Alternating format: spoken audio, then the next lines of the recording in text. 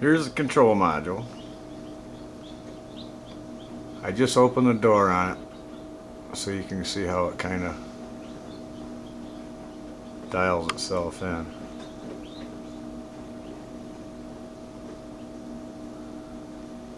Ninety-one point five.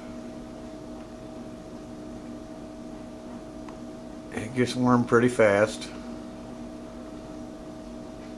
It gets about 97.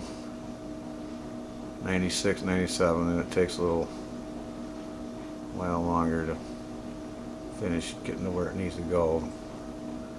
And it's not because of the heater's percentage cutting out. See there it says heater 100%. You can adjust that to change whenever you want it to.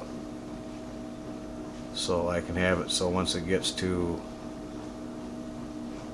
98.5 degrees or 98 degrees I can have the the heater power cut down to 10%, 12%, 25%, 30%, whatever I want.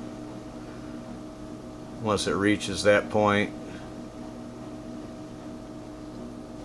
it cuts out and then it doesn't get too warm.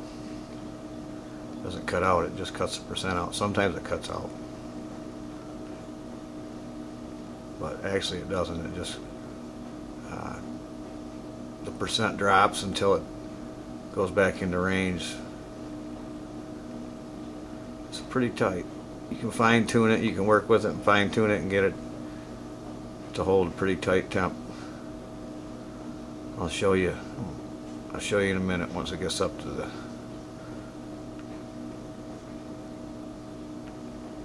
desired temperature.